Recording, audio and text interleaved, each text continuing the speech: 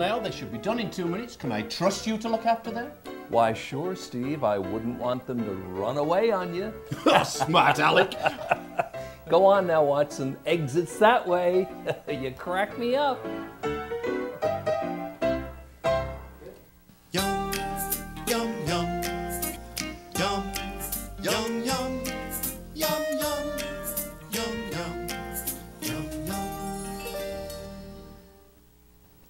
The egg cracks. Yeah, exactly.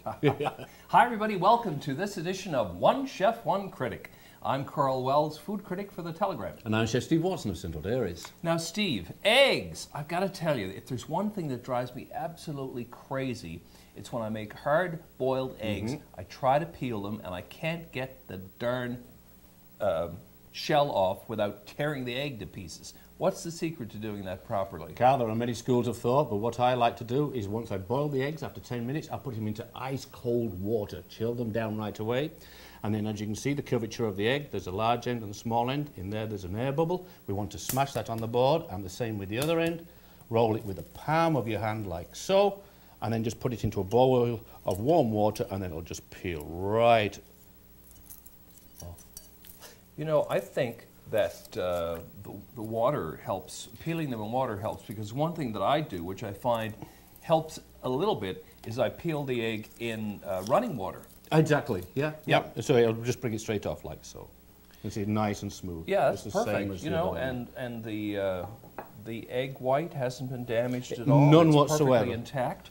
Uh, another thing uh, that some people like to do is, I, I think this may work. I don't know, but they say if you uh, put some uh, baking soda into the water when you're boiling, Boiling, that the helps same thing separate, will happen. separate Yeah, the yeah. Uh, shell from the from the egg itself.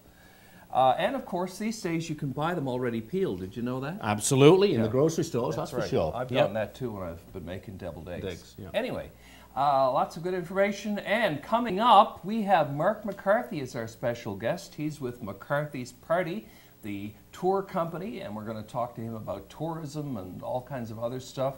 And what are we going to be doing? We're going to be making a beautiful lamb shi- shish kebab with some basmati rice. Right, and we've got a new Korean restaurant in town. Julia Kwon is here from uh, J Korean Restaurant, and she's going to do a fantastic St. John's roll. Stay tuned.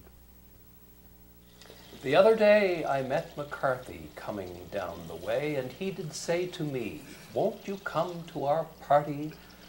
The house, to be sure, will be crowded to the door. Well, our guest on One Chef, One Critic today does know how to throw a good party, or convention, or tour, large or small. He is Mark McCarthy of McCarthy's Party, and uh, McCarthy's Party's been in the tourism business in St. John since 1982. Welcome, Mark. Thanks, Karl. And you're much for inviting me. also uh, the chair now of Destination St. John's. That's correct, yeah. So there's lots of stuff we can talk to you about. I hope. Uh, and uh, cook as well. What are we going to do, Steve? Absolutely, Mark. Welcome on, welcome on board with us. Thanks. What are we're going to be doing today, Mark, we're going to be making some beautiful lamb kebabs with some nice red, yellow, and green peppers on there. And I, once we get started, I'm going to get you to make us a nice green peppercorn sauce with a little bit of marmalade in there. No problem. So I'll get started. First of all, what I'll do, I'll, I'll, I'll make my kebabs. And what I did here, I've got some nice lean legs of uh, lamb, which I'm marinating in some lime juice and some fresh uh, rosemary. So first of all, I'll just put them some pieces on, and then I'll just go along and just add some onions as we go, and we'll put some peppers on there as well. So. Mark, I guess food is a big part of the, the tourism experience. Uh, do your clients often want to taste traditional Newfoundland dishes? I think um, if they're going to be here with a meeting or an incentive program or even a, a touring program, a leisure program, they are definitely going to want to experience something that we consider ours or something that's local, as we all do when we travel. I mean, it's, if you're yeah. adventurous at all. Yeah, So. yeah. And I think the other thing you should remember is we always say in Newfoundland there's no such thing as an accidental tourist. The people who come here are experienced travelers. They want to be here and they want to experience as much local yeah. things as they can. That's right. This this is a destination. Yeah. Yeah. Um, so how do you make sure that what you know Newfoundland cuisine, for example? Uh, it's sad to say, but there are some places that don't do food very well. How do you make sure they get the best? The best of the local cuisine. If they're going to go out and have fish cakes, or if they're going to have mussels, or if they're going to have whatever fish and brewis, how do you make sure they get the best? Well, some of that is my own tasting, I guess. Uh, I think that as we plan programming, we do have to make, make an effort to get out Yeah. to see our suppliers. Yeah. Not just in St. John's, a lot of variety here. Again, also a lot of qu- different qualities and different qualities might not be the right word, but different preparation styles that would Mm-hmm. work with my clients or wouldn't work with my clients. But as I get across Newfoundland, we definitely have to be very clear with our suppliers about what our people expect and uh, have the pleasure of tasting it to make sure it's Yeah, going to work. well, because you want them to come back, or at least you want them to go away having had a good experience and tell folks about it. yeah, every every piece from the airport in matters. Yeah, that's right. Yeah. Okay, what I've done, I've just put a little bit of spray on there, Karl, and that'll prevent it from sticking. I'll give them to you, then you can pop them on the grill, and then I'll get you to season them. Okay. Okay, Mark, what we'll do, we'll pop the, I'll give you the wooden spoon, I'll get you to stir. There you go. we'll add the onions into that. Stir now? Stir now, keep Yeah. them going, yeah. Turn the heat up on there. And we're going to be making our green peppercorn sauce there, so that's perfect. And actually, I think we've got the perfect destination here. And I've, I've had the good opportunity to go with you, whether it be to Ottawa or whether it be to Toronto and promote the province. Bristol, we did it one time. Oh yes, we did Bristol. That, we had that back in '96. Yeah. Now, now we're starting to show our age, you know. But uh, it is truly amazing how people do want to make this a, a destination. It's, we've got a very unique destination here in Newfoundland and Labrador, and um, and you guys certainly do uh, an resounding job when you go out on the road. That's for sure. So. Mark, you were in, Gen- in Geneva this year. Yep. What, what was that all about? Well, I'm, we're part of a selling consortium, the Newfoundland and Labrador government, and I'm the, with a private sector partner, uh, as well as uh, the other partners in Canada, um, Ireland, England, Switzerland, Monaco, and Germany. And every year we go to one of those countries and we invite a bunch of American and Canadian organizers of corporate meetings and incentive programs to come in and meet with us and talk about bringing their meetings and incentive programs to our destination. So we're there as part of Canada, but we're truly we're selling Newfoundland and Labrador to these clients. So. And this year it was Geneva. Yeah. Yeah. And there was something interesting you learned, uh, which I, I, I amazed me, uh, and it had to do with Monaco. Just tell us about that. Well, one of the advantages, or one of the things that's working to our advantage, I guess I, I could say this year, is that um, the people in Monaco were explaining that they've had a bit of a rough year in terms of selling incentive travel, and that's rewarding the best customers or board travel. Right. Yeah. Um, because the perception of taking your board to Monaco in these economic times is not a very good sell right now. right. They're all afraid Yeah. to say they went to Monaco, so or they, or they went Because to of the gambling and everything. It's Well, I think it's also perceived that it's a really it's a high real end, high, high end. yeah, Of course, yeah. of course. an elaborate yeah. trip. Yeah. Yeah. Whereas, you know, you can get away with some of the other destinations. Yeah. And we did have people in the United States telling us that they have a difficult time leaving North America right now because of that. Right. And that they're doing a lot of things uh, domestically. And in particular, they were looking at Canada because it's not perceived that exotic, but they can really get uh, uh, a good response. So from Monaco to may, maybe Newfoundland. yeah, we, we're actually working on a group that that could be the case That's for this great. coming June. Yeah. So, Yeah. yeah. Okay, that's coming on quite nicely there, uh, Mark. We've got Yeah. the onions there, the shallots, and we've got the green peppercorns, a little bit of butter. Now we're just going to add some marmalade in there to sweeten the pot up, so to speak. There, nice in there. I'll get you to stir that in. That And the whole dish, once the, the, the lamb, we're going to cook that medium rare. So that's only going to take about Yep. 10 minutes to, to cook. And then once that comes Yeah. through and comes to the boil, I think that'll be quite nice, actually. Mark, when uh, when tourists come here, what's the one thing that kind of blows them away, or that they that really surprises them? I, I think that the landscape, the nature, uh, any of the wildlife they can see is definitely popular, and I think the advertising campaign speaks to that a bit. Yeah, for but sure. I don't think you'll ever get a better, greater response than when they talk about their interactions with local people, Mm. whether they're in restaurants, in hotels, when they're just on the road and meet people. They just get a real charge out of our uh, lifestyle, out of our attitude, and Mm-hmm. it is almost completely positive response to the Newfoundlanders and Labradorians. So I really think uh, it's hard to sell culture in an advertising campaign, but it's probably our greatest asset. You've So- got Yeah. to see, smell, and experience it. don't you really do, yeah. That's yeah. right. Yeah. And our four seasons in one day. And uh, you know, for, they really, all the citizens in this province really do a great job in representing themselves to the to Mm-hmm. That's our right, travelers. And just be natural about it as well, aren't they? They really enjoy that part Yeah, more yeah. than anything, I think. Yeah. I'll just add some gravy into that. So Steve through. just mentioned seasons. Uh, is it essentially a seasonal uh, business, your business? Mine is a, a three-season business, is the best way to describe Okay, it in yeah. terms of people traveling here. Yeah. Uh, and that would be spring and fall would largely be uh, convention and meeting periods. And then, and, and then July and August would be your leisure travelers, and they will come through at that point. Right. Yeah. We do get business almost every month. but you don't get uh, a tremendous amount of business every month. Right. Yeah. And what about the bus tours? Is that mainly well, spring and fall? Uh, June, July, August, and This is September. yeah. Now, next year, we're actually going a bit earlier in June because we're going to do a bus tour over the new Labrador Highway. Oh, So The uh, first, is it? Uh, well, I think some a German company did it this year. Oh, that I'm not sure Yeah, who it was, yeah, and yeah. Uh, it's that company where they actually sleep in their coach. oh, really? They have Oh, like yeah. 16 beds built into a coach. Yeah, amazing. I don't think I can sell that product, but, uh, but they like it. Yeah. So it'll be interesting to get a chance to go over that, like one of the last frontiers in North America, and uh, the interest already from our clients is high. So. It's phenomenal. but we're going to go in early June just because to take advantage of the good weather in central Labrador, Yeah, yeah.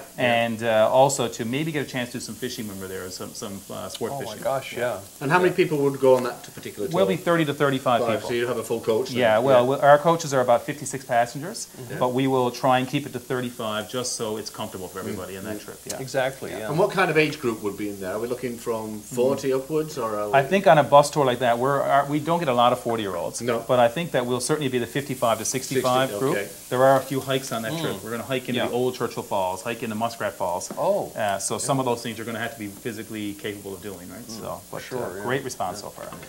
Well, uh, this seems to be under control here, Steve. think so, and, Karl, yeah. uh, Mark has the sauce going there. I'm going to go down to the wine cellar and get a wine to go with this. Perfect. They always pick a good dish. wine out down there. I'm thinking red maybe, but you don't know. What do you think with lamb? Red? New red, I think so, yeah. Yeah. No, po- possibly a rosé, but they, they do do a good job. So this Geneva trip was fantastic. yeah. You wish you had a little bit more time? I would have loved to have had more time. Yeah. And uh, we did. I did get a chance to walk along Lake Geneva. Hey, Andrew, Hello, Karl. we have lamb today. What a, Shish kebab or kebab, whichever you prefer. Kind What of a- Middle Eastern, I guess. what a Uh, lucky guest you have up there today, yes, Mr. we McCarthy, do, I hear. Yeah, so. Well, uh, this is a gamey uh, meat, so we're going to give you some meaty, gamey wines. Mm-hmm. Okay? Uh, two countries that do that very well are Spain and France. Uh, they actually say one of the classic matches in the world for lamb is a Tempranillo from Rioja. So you know what I have brought for you today? A Tempranillo from Rioja. This is uh, only a five uh, 500 mil. Uh, I it's can't believe you thirds. brought such a small bottle into this cellar. You know, we don't have the 750 yet, so I, I love this product so much, I'm going to push it in any size. And Yes, uh, this is the love- 500 we could mil. have more of it. Uh, Well, we will, and we're selling this quite a bit of this. And you know what? The juice does the talking. Mm-hmm. You need to actually try this to, to, to see what I mean. But uh, I, I, I very much like this wine. The 100% juice do- The Tempranillo. juice does the talking. I like it. So this is our Spanish option. Mm-hmm. A second classic match for lamb would be Left Bank Bordeaux. Yep. And here's what we've gone with the Thomas Barton uh, Reserve. It's from the Medoc. It is a blend primarily of Cabernet Sauvignon with some Merlot. And uh, this has beautiful, nice tannins to go with the fat of the lamb. They soften each other. Excellent selection. And for most time, most of my life, this is what I've always recommended: would be a cab blend or Tempranillo with lamb. But uh, people have introduced me to Pinot Noir and lamb. I never really gave it a chance, and now I see such great things in this. And I've chosen an older Pinot Noir for us today. This is the 2002 Dufalor. Okay, now I chose the older version because we're getting away from the fruit. We're now into more, we're away from aroma into a bouquet. So here you would almost smell and taste the, the things of autumn or fall, mm-hmm. decaying leaves, things like that, things that are desirable in an older wine. And this will go very nice with the gaminess, meatiness of this lamb. More so than a fruit forward, new world, something like that. I think we go old world here. I've never really thought of decaying leaves as anything that, you know, I'd find palatable, Andrew. I understand. You wine guys, honestly, I, you know, Andrea talks about barnyard and poop, and you're talking about decayed leaves. Gee, anyway, uh, you know what? I think it's really cool that this guy, Thomas Burton, Yes. who was an Irishman, Yes. went to France and became famous for making French wine. So because we have such a strong tie with Ireland, Do it. I'm going to be very I think know, Mark will be happy with that. patriotic. And McCarthy, Irish, see these connections Oh, I'm wow. making? Uh, you know. It's a whole other show. So, uh, Thomas Barton it is. Barton. Thank you very much. Not Barton. Well, in France, they probably call him Thomas Barton. Give my best to Monsieur everyone Barton. upstairs. Okay. I'll just hang out down here. Au revoir. Miss you. Bye, Karl. He left me the Pinot Noir. He's crazy. Now I know Andrew has made a good choice of wines. I'm just going to remove the last lamb shish kebab from the grill, which Karl nicely seasoned, like so. We will now pick up the plate, a little bit of Mark's excellent green peppercorn sauce with a little bit of marmalade in there, like so. Little garnish, and to the table.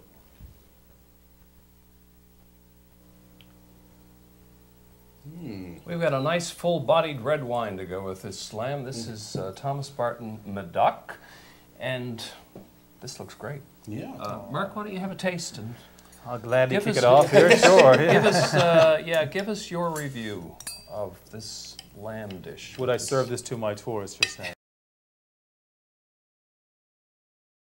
That's right. yes, Yeah, yes. yeah. Well, you would if it, if it were Newfoundland lamb, you'd have to. Yeah, exactly. We'll go down to St. Bride's and pick some up. Yeah.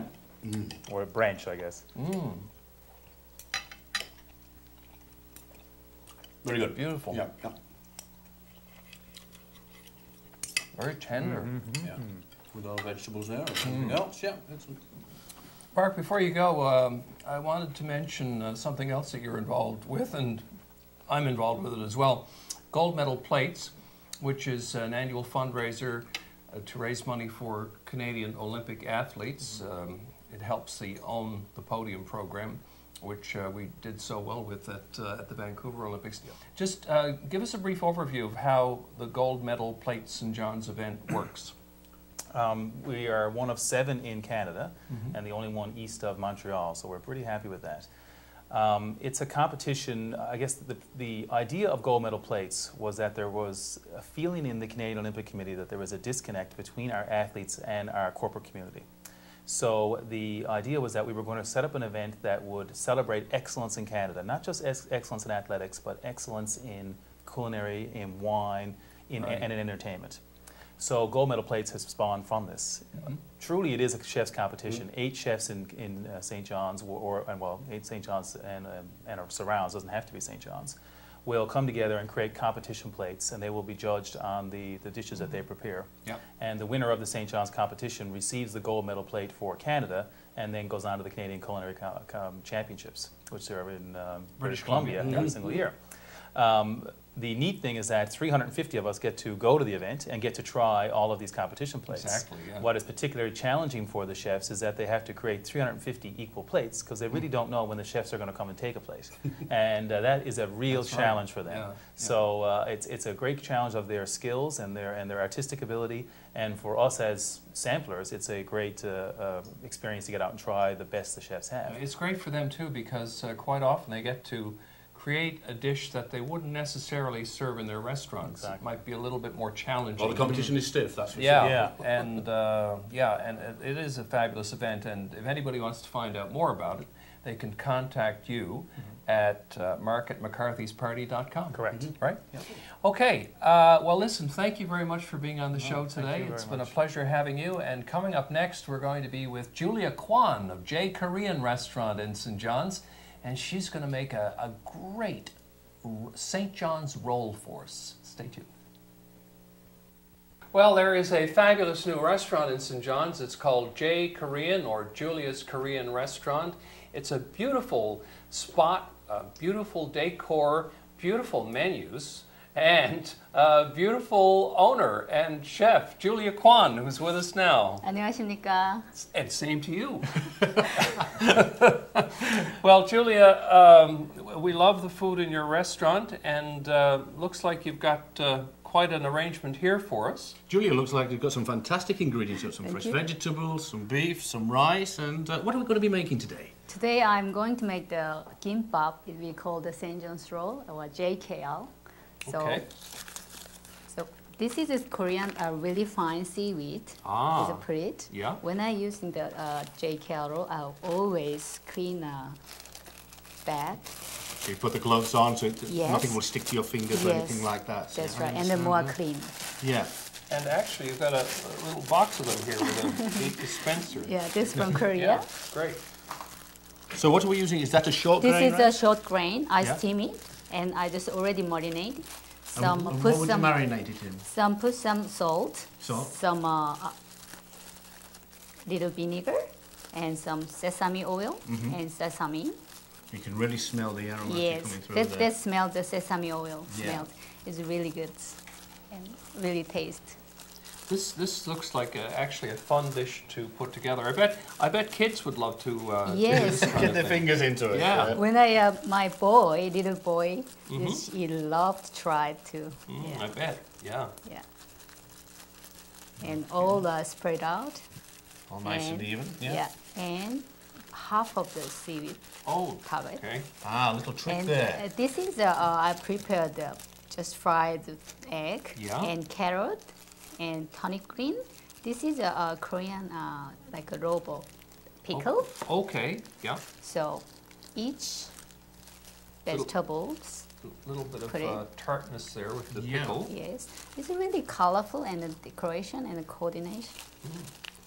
Steve, I think Julia's got great knife skills. Look Oh, I how think beautifully these vegetables are cut. Absolutely. And did you say turnip greens there? Yes, Ah, tonic the greens, Newfoundland Newfoundland roll. tonic greens. Oh, it's that's really oh, good. that's why yeah. it's St. John's roll. Yes, I love this. Yes, Newfoundlanders love their Yeah. turnip greens. Yeah. It's lots of vitamin C, And right? did you steam those or just saute them? What- Yeah, just a little steam it, and I already marinate, just a little salted. A little salt as Yes, well. Yeah. that's it. Yeah. Bring out the brine. And this one is uh, I prepared two kind of meat. This is a beef, really slightly beef, and this is the same one, but this is a spicy one. oh, I love spicy. We uh, never use the MSG. We No? just prepare the uh, at least 10 hours marinade, and then make the natural soft. They're, uh, it's interesting too. Look at the difference in color, Colour, between exactly. the two. Yeah. Yeah. Yeah, Which one do you like? Spicy one or not spicy? Oh, spicy. Okay, I'll make the Yes. We're- spice for we're you. Full of spice, me and yeah. This is the spiciest Yeah, show. this is a TV. really oh, spicy. indeed it is. Indeed Yeah. it is. Julia. Actually, this this pepper, my mother-in-law growing, Mm-hmm. and then she make for me and I sent it from Korea. Oh, very good. So we feel very honoured to do yes. Okay, now we've got and to see how you roll this roll up. this. So this is why you have the mat. It helps Yes. to shape. and- So more Gives you- strings. Yeah. Hmm. Yeah. Very good. Really nice and tight. Yeah, nice and tight. And then you just flip it, There, you- there we go. Isn't that great? Perfect. And then after this is the uh, oil, the sesame oil. To that, and put your hand Ah, that's and really It's a keeps it nice and moist, yes, doesn't it? nice and moisture. Yeah. That's a good little tip for myself. That's And I'll prepare cut it. dish Yep. and cut it. oh, very nice. Look at the colours coming through there, Karl. Oh yeah. now. This this end one doesn't look quite as good, so we'll take that one out. And this is what we'll do. Would you try? Oh, absolutely. Thank you. very- oh my gosh, that's really good. Delicious. If you like the more spicy, I prepare this Korean uh, spice things. Okay. To serve on the side. Yeah. Yep. That looks absolutely wonderful. Julia, you've Oh, been uh, beautiful. you've been a great guest. And there you go, folks. St. John's Roll from Julia's Korean Korean. Restaurant. Thank you, Julia Kwon. Thank you very much. And that's it for this edition of One chef. One Critic. Thank you. One sauce on. Yeah. Yeah, this is really good spicy. Oh, good. Very, very nice. Pol Roger. I must have drank this one. Looks like a Jeremy wine here. Oh, definitely Andrea. You're still here? Sorry, Karl, I had nowhere else to go. You know, it's really weird. Uh, this is like the third time I have come into this cellar and found one of you wine experts still here long after you were supposed to be here. Well, someone has to know about your lovely selection of wines, so Oh. uh, I've taken it upon myself. Is that what you've been doing? Kind of, doing I'm- studying my lovely Yeah, there's two selection of wines? is liquid to Is that what you've been doing? Studying my selection of wines? Do I see empty Uh, bottles here anywhere today? Not, your production crew will not I'll let tell me you in what. here with, with a corkscrew. Tell you Karl. what. You you've been studying these wines? Yes. I'm going to pick a wine Okay. just to see I'll how well you've eyes. been studying. Because I have my doubts. I have my doubts. Let me see here. Huh. How about this? Tell me everything you know about this wine. Ooh, Chilean wine, Concha Toro, Terrunyo. You know what? I did uh, one day try this wine. I had many mixed feelings about this Carmenere grape, and it was actually this actual product that brought me back to Carmenere. Uh, Terrunyo means terroir, believe it or not. So this is what this wine tries to accomplish. It wants you to be able to taste the dirt the grapes were grown in. This is why they talk about the vineyard selection. Block 27. They basically show you right in the label exactly where the grapes were grown for this wine. You're gonna have to do it. Okay. Let's do. You can do my wine class. We'll have a lot of Carry fun. on, Thank carry you, girl. on, carry on. I'd like a corkscrew, please.